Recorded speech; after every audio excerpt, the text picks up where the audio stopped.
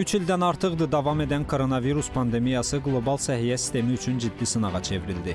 Ümumdünya Səhiyyə Təşkilatının araşdırmasına əsasən ümumilikdə COVID-19-a yoluxma nəticəsində ən azı 20 milyon insanın öldüyü təxmin edilir.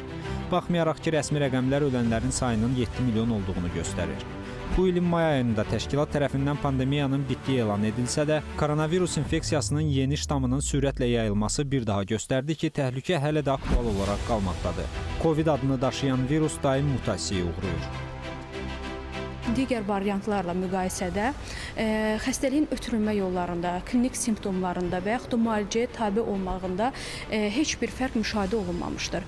Lakin digər ə, e, variantlarla müqayisədə e, mutasiya qabiliyyəti daha çox e, qabiliyyəti əldə etdiyinə görə e, yoluxduruculuq qabiliyyəti e, yüksək olduğu haqqında məlumatlar var. Ümumiyyətlə Ümumdünya Səhiyyə Təşkilatı tərəfindən EG5 variantı qlobal ictimai səhiyyə qarşısında, qarşısında aşağı riskli olaraq dəyərləndirilmişdir.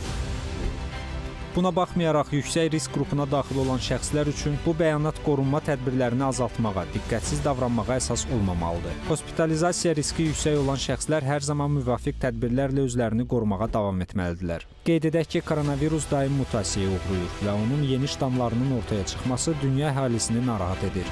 Ümumdünya Səhiyyə Təşkilatının hesabatında son bir ayda dünyada COVID-19 hadisələrinin 63% artdığı bildirilir. Təkcə son bir həftədə 1,4 milyon yoluxma halı qeydə alınıb. Yaranmış vəziyyətlə əlaqədar artıq ABŞ prezidentinin administrasiyası Amerikalıları COVID-ə qarşı peyvənd olmağa çağırıb. Amerikanın bir neçə ştatında yenidən məcburi maska rejiminin tətbiq olunması gözlənilir.